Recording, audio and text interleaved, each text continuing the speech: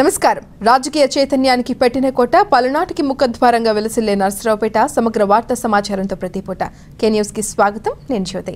ముందుగా హెడ్లైన్స్ చూద్దాం. మున్సిపల్ కార్మికుల సమ్మె చేస్తున్న నేపథ్యంలో పట్టణవాసులు స్వచ్ఛతా కార్యక్రమాలు చేపట్టాలని చెత్తను రోడ్లపై వేయకుండా మున్సిపల్ సిబ్బందికి అందజేయాలని పట్టణ ప్రజలను కోరిన municipal chairman Gupta. GO number రెండు వందల డెబ్బై తొమ్మిదిని రద్దు చేయాలని డిమాండ్ చేస్తూ ఆరవ రోజు దీక్ష కొనసాగించిన మున్సిపల్ కార్మికులు. దీక్షకు మద్దతు తెలిపిన సిపిఐ నాయకులు.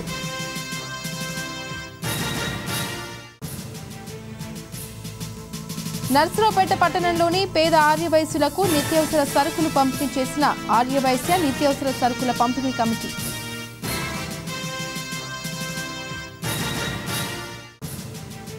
తనపై వచ్చిన ఆరోపణలు నిరూపించాలని సవాల్ చేస్తూ పన్నెండవ వార్డు కౌన్సిలర్ సీలు బాబు రావు చేపట్టిన ధర్మ పోరాట దీక్షను సాయంత్రం నిమ్మరసం ఇచ్చి విరమింపచేసిన ఎంపీపీ ప్రభాకర్.